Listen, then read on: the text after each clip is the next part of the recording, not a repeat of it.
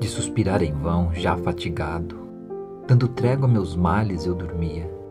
Eis que junto de mim sonhei que via da morte o gesto lívido e mirrado.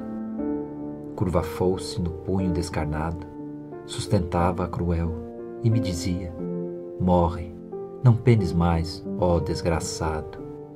Quis ferir-me e de amor foi atalhada, que armado e de cruentos passadores aparece e lhe diz com voz irada que esta vida infeliz está guardada para a vítima só de meus furores.